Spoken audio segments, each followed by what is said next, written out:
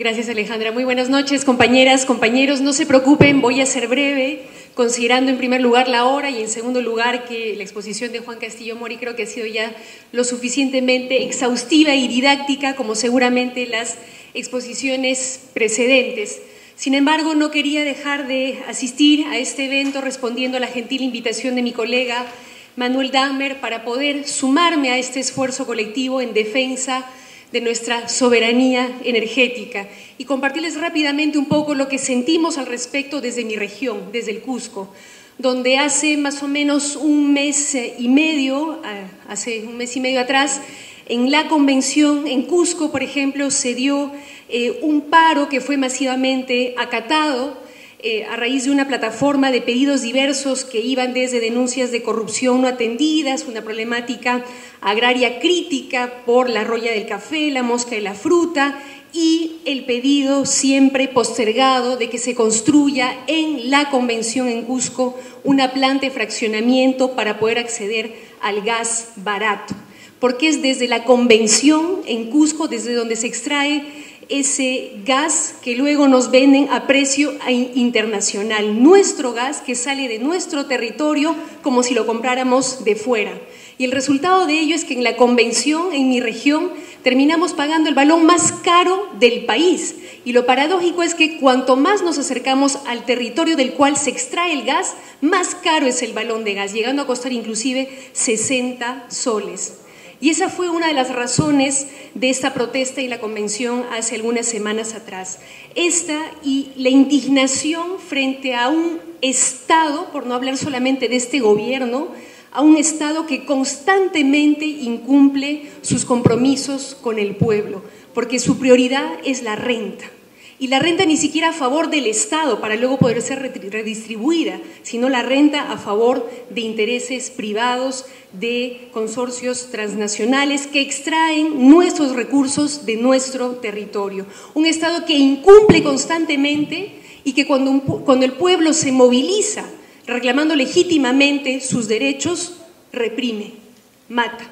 y deja a esos muertos en la impunidad como está ocurriendo con el muerto, este joven de 16 años que terminó avaleado en Santa Teresa, un joven de 16 años cuya muerte prácticamente ya está quedando en impunidad porque la Policía Nacional dijo que el disparo estaba totalmente legitimado por las circunstancias.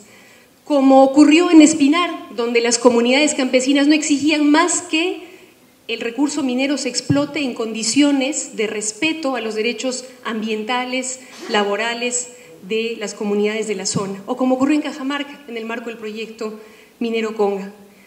Impunidad que probablemente también se va a repetir en el caso del señor Fidel Flores, que ha sido asesinado recientemente en Cajamarca,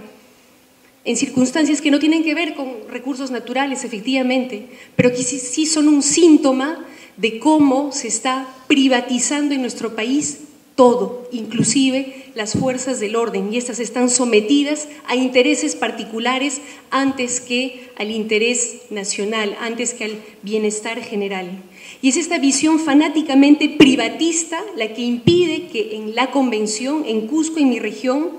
y en la Macrosur, nos podamos beneficiar de todas las potencialidades que tiene el gas, a través de un gasoducto cuya construcción seguimos esperando,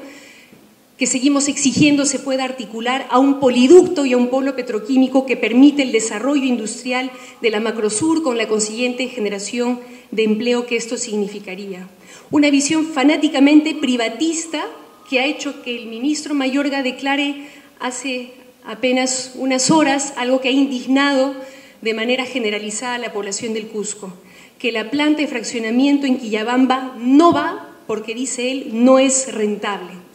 a pesar de que Petroperú, esta empresa que hoy estamos defendiendo, esta empresa pública, esta empresa nuestra, ha establecido ya a través de diversos estudios que sí se puede, sí se puede realizar esa planta de fraccionamiento si es que hay, uno, voluntad política y dos, si es que se amplía el mercado y tres, si es que se negocia con el consorcio Camisea el precio de los líquidos de gas natural para que podamos utilizarlo en esta planta de fraccionamiento.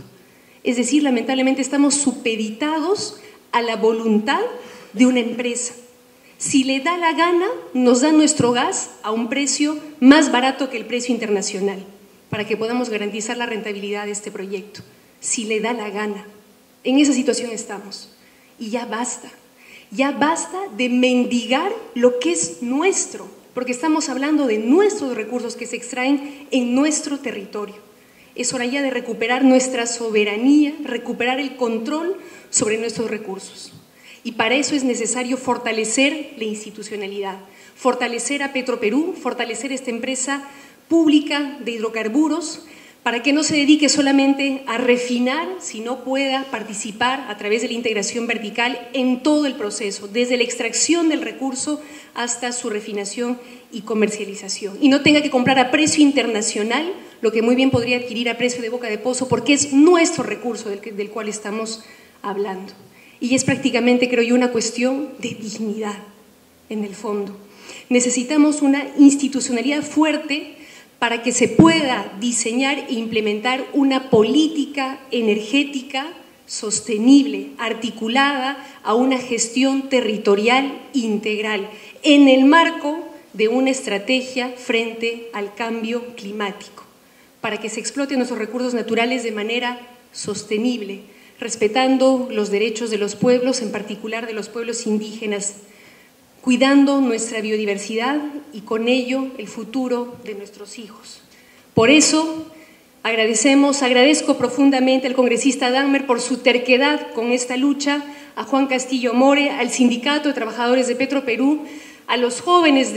en defensa de la soberanía energética que han venido desde lejos el día de hoy, a todos y cada uno de ustedes por haberse sumado a esta lucha por recuperar Petroperú, por recuperar nuestra soberanía energética, por recuperar en buena cuenta nuestra dignidad. Así que sigamos adelante con esta lucha. Unidos sí se puede lograr, compañeras y compañeros. Un gran abrazo. Sigamos adelante.